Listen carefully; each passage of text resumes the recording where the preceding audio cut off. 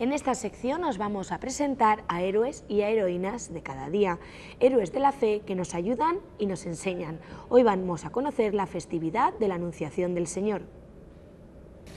Demasiado grande la fiesta de hoy. Demasiado grande porque los personajes se hacen demasiado pequeños. Por ejemplo, Dios. ¿Qué necesidad tenía de venirse a esta tierra a vivir con nosotros? Podría habernos echado una mano de cualquier manera, pero va el pastor y se hace cordero para salvar a todos los corderos. Demasiado grande, la verdad. Y luego ella, que se declara esclava del Señor. Vete y diles a las mujeres de hoy que lo bueno es hacerse esclava, pues ella es esclava, y ahí es donde está a gusto, ahí se encuentra bien hágase en mí.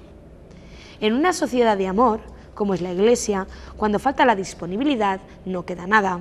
Pobre Iglesia sin disciplina, sin disponibilidad, sin entrega, sin sacrificio. Esta no es la Iglesia de Jesús.